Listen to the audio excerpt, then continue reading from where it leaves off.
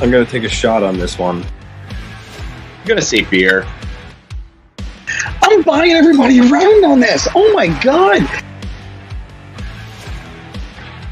Well, welcome back, everybody, to the the ATR Bar Talk segment, where we gauge our confidence in NHL topics based on our choice of drink: a beer, a shot, or you buying everybody around because you're so jazzed up for it. Well, it's a good thing we got Mr. Anthony LaRocco back because one of the questions that he asked Dave Pagnotta when he was on with us, you can always rewind us and check it out, or there'll be a separate segment we'll have for that. He asked about Vladimir Tarasenko being either a New York Islander or a New York Ranger next season. Anthony, I got to go to you. Well, um, it seems like it after listening to him, it will more so be the Islanders and the Rangers. But um, um, you know, I'm gonna say beer. Uh, obviously, not, not round because there's no guarantee that happens, but definitely not a shot either, as there's a lot of smoke involved here with Tarasenko to the Islanders. So, um, falls right in the middle there with the beer. And hey, listen, like you said, the Islanders are gonna have to send back a player with similar salary. Jordan Eberle seems to be that guy that the Islanders are gonna use to move out, whether it be Tarasenko or, or just for cap space. But um, you know, and then he referenced there there could be a couple other pieces there, so we don't know what the, what a full deal will look like. Because uh, I also heard stuff about that Vince Dunn could possibly be in a deal and could be a little bigger. But um, listen, Tarasenko, there's there's a lot of risk. You know, he's coming off those shoulder surgeries, uh, but like Pagnotta said, he has he has something to prove. Um, he feels now after this third surgery, where the act where the surgeon actually fixed that the, fixed the issue that the blue surgeon didn't do the first two times, which to me is just unfathomable how they could miss something like that. Um, you know, it, he could pay off if his shoulder's 100%. The only thing is, we really won't know until you know he hits the ice and uh, see what he has. But um, he's a he's a dynamic scorer, that's for sure when healthy. Um, but I mean, it could help improve the Islanders. Let's face it, Tarasenko at his best is a lot better than Jordan Eberle. So you know that's a that's a sniper that the Islanders need. Um, you know, I'm just not sure you know what other offers the Blues will get from other teams. The only positive is uh, I think Tarasenko only has like five or six teams he's willing to wait to go to, so uh, that plays a large role too. But um, yeah, I'm assuming we'll get our answer to all this probably after the expansion draft, possibly sooner. Um, you know, a lot of variances there that could that could lead to why the Blues would want to do it sooner. But um, yeah, I, I know I'm a little skeptical about it, but you know, I'm I'm also a little cautiously excited because Tarasenko, what he can be. But um, yeah, beer, beer. Uh, Phil. I'm gonna go beer here. I, I, you can't say shot. You can't say uh, round, like Anthony said. Um, if it was just the Rangers, I would say shot. Um, if it, even if it was just the Islanders, I'd say beer. But it just I don't know how they make that work. And they want to bring back Kyle Palmieri too, like like Dave, uh, you know, spoke about before. Uh, we've we've talked about that before as well. I, I just I don't know how this works, and I know that the Islanders, I believe, are on the list of teams that he's willing to waive to. But and and I I know I know I've said for years that they've needed to get a pure sniper, and Tarasenko would be that, but I would be very, very afraid of that shoulder. And I know that they fixed the problem, but how much damage has been done to that shoulder? How much? And you know what? He's getting up there in age. He's getting closer to 30. I, I know he has only a couple years left on his deal, so then you're going to have to make a big decision in two seasons whether to sign him or not. And then you're going to have to pony up five, six years at that point give him a contract until he's what 36 37 years old somewhere in that range yeah i don't know i mean i think it might be best for the islanders to kind of let oliver Wahlstrom develop into the sniper that he is I know Jordan Eberle has only scored 30 goals in his career once, and that was back in 2012. But he tends to be more of a playmaker. Yes, he does. But he gives you 25 goals you know he's got great chemistry with Matt Barzal, and you know that he can play within this team's system. That you know, you got to worry about fits too. That's a big thing. This Islanders team is not a team of of marquee talents. Matt Barzal is a talented player, but is he an elite player? No, not by any means. But what every single player on that team does is fit to the sum of all of the parts, and it forms one well-oiled machine. As much as I hate to say that, being a Ranger fan, Mhm. they are a well-oiled machine. They We're hoping we will be saying that uh, next year. Yeah. So, but I I just I I like Vladimir Tarasenko. He's not a bad defensive player, and he probably could. But why? Why, when you have a player that you know can be somewhere, somewhat within that same stratosphere, at the very least, that looks like he's ready to make a jump, and and I'll reference him again, the hockey guy Shannon made a list of breakout players that he, he expects to have big, big years this upcoming year, and and Oliver Wahlstrom was on his list. So I, I kind of agree with him there. I think Oliver Wahlstrom is primed for a bigger year this year. I think you're looking at 20 to 25 goals, given the ice time and the power play time.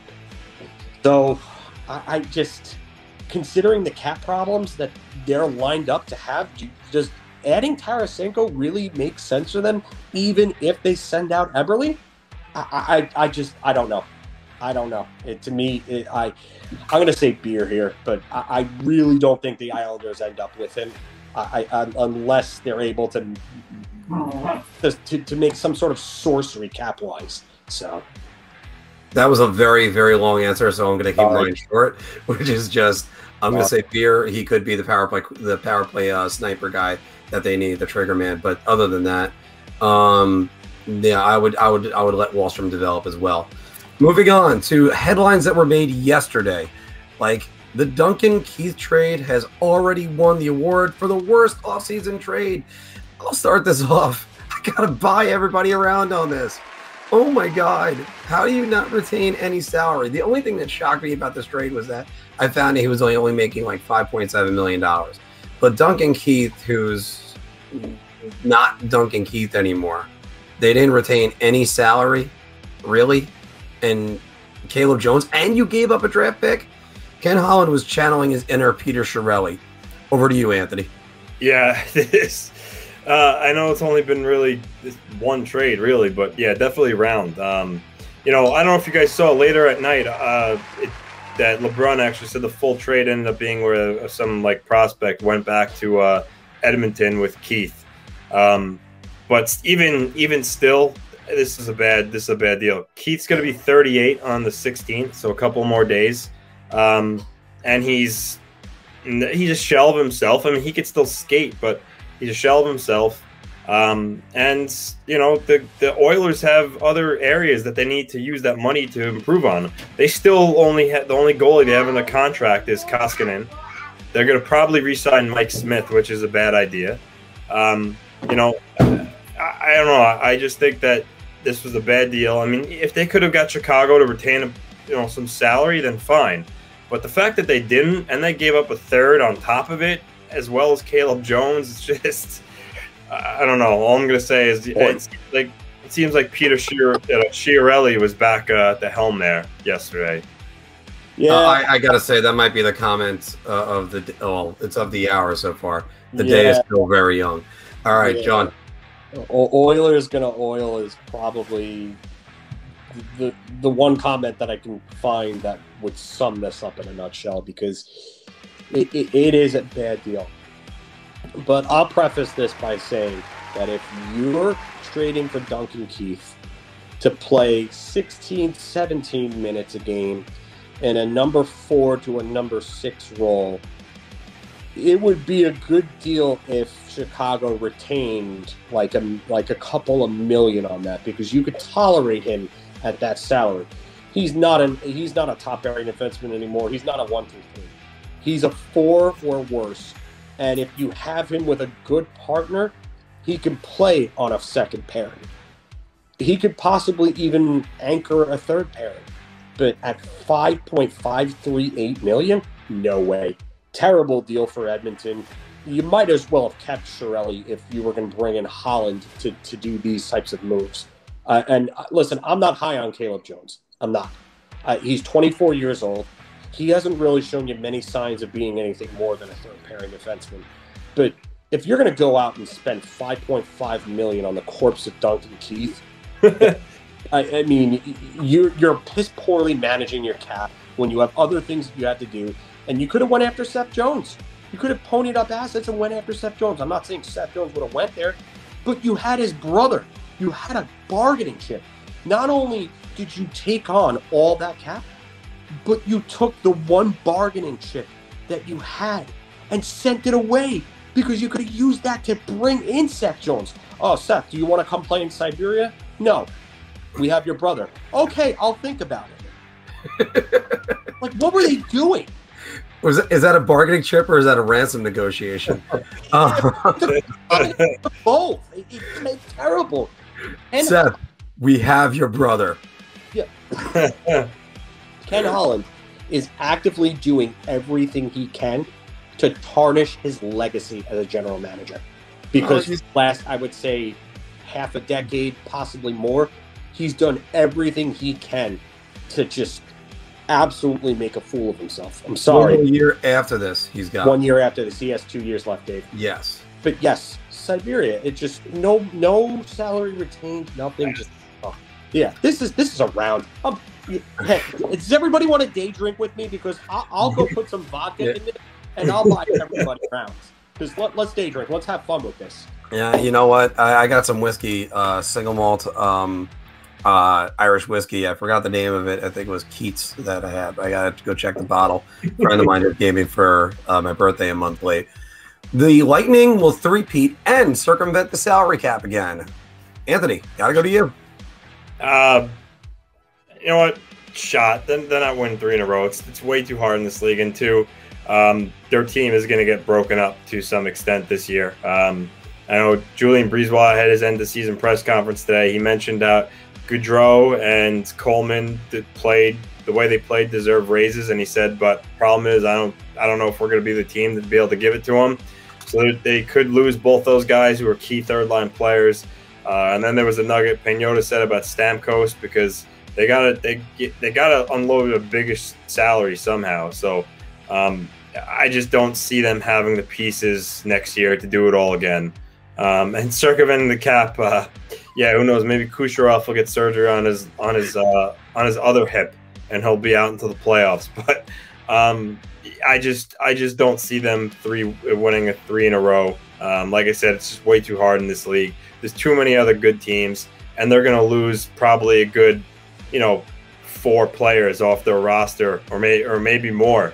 So um, I mean, Savard. I don't know if they got money to keep him. Like I said, Goodrow, Coleman. Um, you know, who knows what happens with with Killorn, uh, Tyler Johnson. This could be the year he goes. So um, after being waived last year, so yeah, I I don't see it at all. I mean, they- don't get me wrong; they're still going to be a good team, but they're not winning again. Shot. Phil. I'm shaking my head because you you changed the, the the topic, the title of it, and you completely misworded what I'd put down. Okay. So the the, the, the, the topic was supposed to be the Lightning will three three-peat regardless of their cap crunch. That was Oh, all right. All right. not circumvent the cap. So the the I was gonna say beer because I think it's possible that they're able to keep a majority of the pieces. They might lose a piece like a uh, like a Maroon or a Goodrow or a Coleman, and yes, Ariana, that is absolutely true. They they still took Edmonton to cleaners, but getting back to what we were talking about, they're going to have a cap crunch and they're going to lose some, at least one, possibly multiple multiple pieces. The Lightning dented the cup, and they're about to put the dent into their team because they have a cap crunch. So I'm going to say beer, just because I think that this team is eventually going to have the talent still to be right at the top of the league. Um, but it might be tough to make that three-peat. We haven't seen a three-peat in 40 years almost. So yeah, Yeah. I'm gonna I'm gonna say beer here. Last team to win three in a row. You York can hear Anthony's erection right now. So uh, I used that joke last week, but still. By the way, Sean, uh, four Red Bulls. I think you had a Red Bull of vodka. You got to like eventually get yourself off the Red Bulls, otherwise you're gonna have heart palpitations. Um, but yeah, again, I'm gonna say no. Uh, they're not winning the Stanley Cup next year. They might challenge a little bit, but they're gonna lose a lot of their depth, and their depth is the reason why they won the cup. Just ask Montreal. Uh, are can you get somebody to play with Yanni Gourde? Yeah, But you, rem- you gotta Um, remember, though, they have pieces that are ready to come up and fill those roles, like an Alex Barré-Boulet. He can come up and, and uh, he can play. Um, you've got other guys in the minors like uh, Boris Katchouk, Taylor Raddysh, other guys that can come up and play in those roles. So, yeah, I mean, you surround those guys with the right players, they can end up giving you the production that those guys gave you. Did you like that video? Of course you did. So why not check out some more of our content? You can check the playlist right here or right here. Your ideas are intriguing to me, and I wish to subscribe to your newsletter.